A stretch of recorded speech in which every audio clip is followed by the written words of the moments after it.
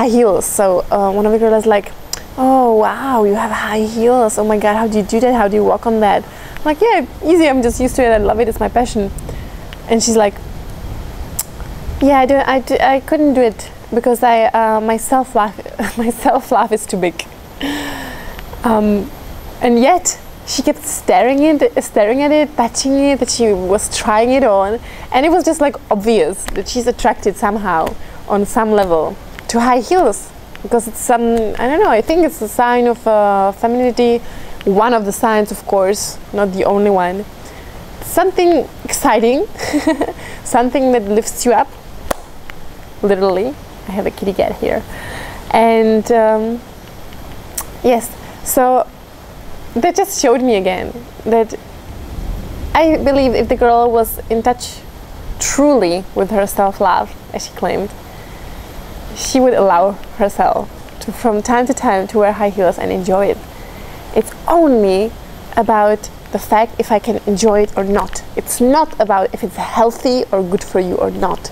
Because if you believe this is fun, it is fun and it's not it cannot be bad for you. It cannot be at that moment where you shine and you're you're you're having fun while doing something that is bad.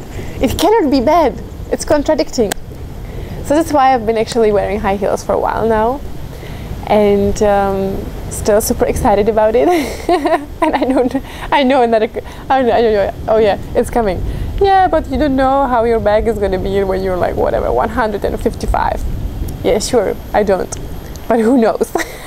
and why should I actually worry about something that is coming in such a long time? Life is now. So if you're happy with something, do it. Don't care about anything anybody says because people are full of advice. Oh, they are. and I think the, the world would be much We'll be much friendlier. That's the way. That's the that's the word. Friendlier. If we just stopped uh, giving each other advice and giving ourselves the advice, and start living start living with passion, with smile, and with light. Have a great day.